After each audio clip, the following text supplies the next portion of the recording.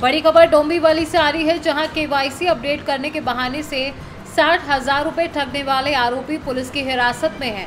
डोंबिवली में एक पान टपरी वाले को पेटीएम केवाईसी अपडेट करने के बहाने साठ हज़ार रुपए ठगने वाले आरोपी को डोंबिवली के तिलक नगर पुलिस थाने ने हिरासत में लिया है और आगे की जाँच शुरू कर दी है।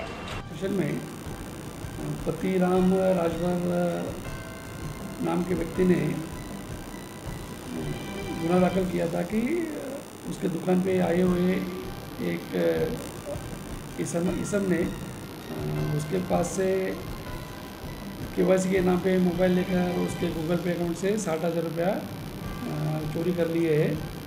और उसके कंप्लेंट पे तिलक नगर स्टेशन में चीटिंग और आईटी एक्ट का केस दाखिल किया था। उस केस के दौरान तिलक नगर पुलिस में एक हेड कॉन्स्टेबल सामान करके है। उन्होंने उनके मोबाइल स्टोरेज में जो आरोपी के फ़ोटोज़ थे उसमें से आरोपी के फ़ोटोज़ उनको दिखाए। तब उन्होंने एक आरोपी को पहचान लिया और बताया कि वह इसी आरोपी ने मेरे साथ में चीटिंग किया है करके। उसके बाद में उस आरोपी की पूरी जानकारी तिलक नगर पुलिस ने हासिल की और आगे की तहकीकत जारी की। तहकीकत के दरमियान आरोपी को भिवंडी से हिरासत में लिया गया है। उसका नाम अबूजर शेख है और अभी आगे की जाँच पड़ताल जारी है।